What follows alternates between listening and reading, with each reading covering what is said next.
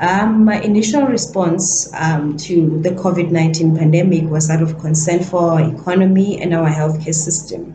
We're battling HIV, TB, non communicable diseases, among other concerns that our healthcare system is facing. And our economy by the end of 2019 was um, also showing that it was contracting. So when this pandemic um, was identified in China, we knew that this pandemic was going to impact our healthcare system and economy one way or the other. However, through research and following our minister and being part of the company's medical advisory group and seeing just the preparations that the company um, was making with regards to response to COVID 19, it alleviated the anxiety and concern, um, uh, um, you know, quite a lot.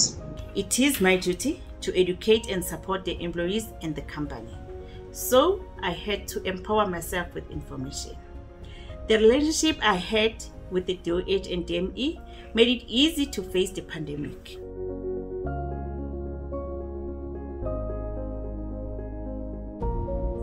I immediately established a COVID 19 crisis committee at executive level. We developed a risk based approach and launched a communication campaign and communicated everything we knew about the virus and the protocols pertaining to it to our employees and key stakeholders.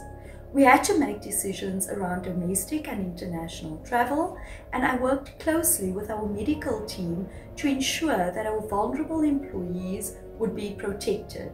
And for the kids, uh, those that were homeschooled, we made sure that, or we worked, sorry, together with um, the local newspaper, the Zululand Observer. We worked on um, study guides for maths and English uh, that could help these kids, especially the grade 12s. We also put together a fun guide um, of fun and games and puzzles and do it yourself activities that kids could also use um, during this time to keep themselves occupied.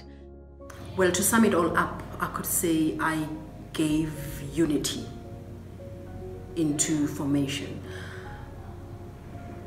What we managed to achieve was that we managed to get the three mines in the vicinity to form a measure in the fight against COVID. All efforts were concentrated, and then there was a concerted effort in the rolling out of the aid. And this helped a lot because we realized that in standing together, we stood taller and bigger and managed to reach a wide magnitude and greater heights.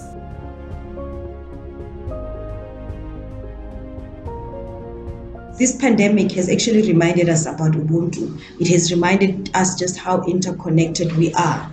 We are one. It has reminded us just how important my my actions can impact on your actions and your actions can impact on my actions. And we must never, ever um, forget that. And we must also remember that we need to ensure and make it normal to ask our neighbors, how can we help? Where can we help?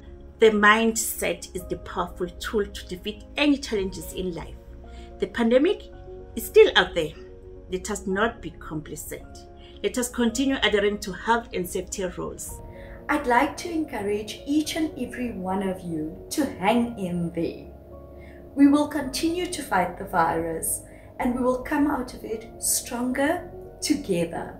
Remember the, three W's wash your hands, wear your masks, and watch your distance. It's so important that we support each other and work together to get through all of this. But more than that, I think as well, we are always stronger together if we choose to work together and we know that we're working for the common good, we can overcome almost anything. There'll always be new developments in disease trends and we need to keep up. And it's also important to note that in doing so, we must not neglect the already existing pool of medical conditions because that could tend to rock the boat and bring an imbalance and then we, lose sight of what we're trying to achieve and lose sight of the bigger picture.